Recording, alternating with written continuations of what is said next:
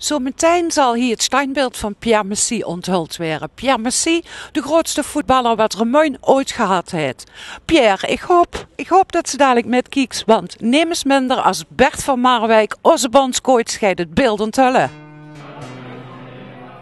Voor de onthulling was er eerst een ontvangst op het gemeentehuis.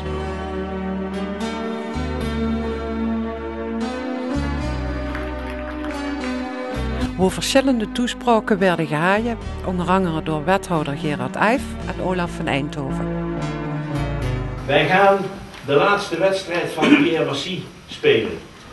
En eh, ja, vaak is laatst, dat is altijd wat droevigs, hè? maar in dit geval is dat niet zo. Is het eigenlijk een feest, want eh, we gaan eh, een mooie happening houden. En ehm, u weet, als er een wedstrijd gespeeld wordt, dan begin je altijd in de kleedkamer. Nou, dit is natuurlijk een prachtige kleedkamer, hè? de statenzaal van het eh, stadhuis in eh Roermond. Pierre was een begenadigd en talentvol voetballer. Rond 1919 speelde hij voor het eerst voor Romondia. In 1920 werd hij reeds 20 jaar oud geselecteerd voor het A-elftal van de Rooms-Katholieke Limburgse Voetbalbond. In de selectie speelde hij linksbuiten, hetgeen hem de bijnaam de linkse opleverde. Pierre Massy zijn achterkleinkinderen kregen het RFC-shirt. Bert van Marwijk de gouden RFC-speld.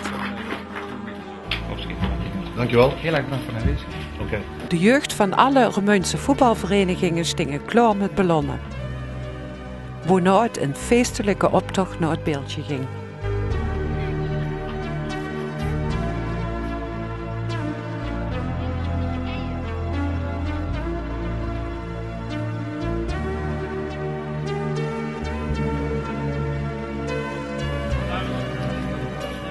Ik wil u namens eh, het stadsbestuur van Roermond graag van harte welkom heten eh, bij deze happening, de herplaatsing en de onthulling van het beeld van eh Roermonds grootste voetballer en international Pierre Massy. Het beeld wordt nu door RFC overgedragen aan de gemeente die dat in trots en eh, dank gaat aanvaarden. Ja, kijk eens. Heel goed voor een technische linksbuiten.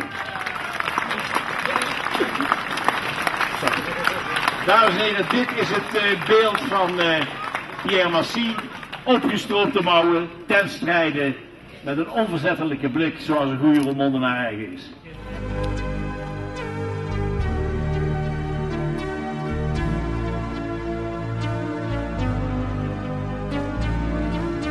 Wat een eer dat u in uw eh, druk bezet leven toch naar Roermond bent gekomen om dit beeldje te onthullen.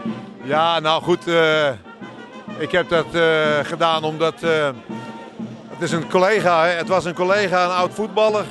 En we worden nog niet zo vaak en zoveel geëerd in dit land. En het is geweldig dat, dat, er, dat dat standbeeld nu hier midden in de stad staat. En eh, dat heeft Pierre Massy eh, denk ik ook dik verdiend. Had u wel eens van Pierre Massy gehoord? Ik heb zeker van de naam gehoord. Maar de rest, daar kon ik niet veel bij, eh, bij vinden. Maar Olaf van Eindhoven is een hele goede kennis van mij al heel lang. En die heeft mij uiteindelijk ook overgehaald om hier te komen. Wat een mooi cadeau van RFC, dit beeld. Ik ben er ontzettend trots op dat het eh, nu eindelijk in de stad zit. Ik heb het dukker gezien aan de Maashaven, ook aan de Leeropperweg. En toen was het even weg. Maar het is weer boven water gekomen. En nu staat het eigenlijk ook op de plek waar het hoort te staan. Overigens, RFC hoort natuurlijk ook in Romunje. Ze zitten in Herkenbos. Eh, het werd tijd dat daar ook eh, een oplossing voor komt. Hij staat nu op een geweldig plekje, denk ik. Hij is toegekomen, want hij kijkt uit op zijn vreugere sigarenzaak.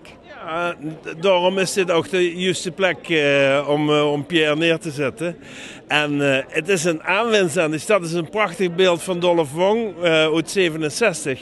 En ik denk dat het een verrijking is. Ik heb hier eh, de zoon en de dochter van Pierre Massy. Wie vindt je dat nu dat dat beeld hier staat? Heel geweldig is dat, hè? Ja, dat is. En de plek? Ja, is toegekomen. Hij is toegekomen. Ja, ja. En eh, ik kijk op de vroeger gewoond heeft. En eh, ja, ik vind het heel geweldig. Midden in de stad, dat is wat er hoort. Vind ik. Ja, het is een mooi kunstwerk. Uh, hij is nog niet vergeten in Remijn. En een kunstwerk moet ze kunnen bewonderen. En daarvoor ben ik zo blij dat het hier in de stad staat. Daar kunnen er heel veel mensen van genieten. Beter dan ergens in een garage.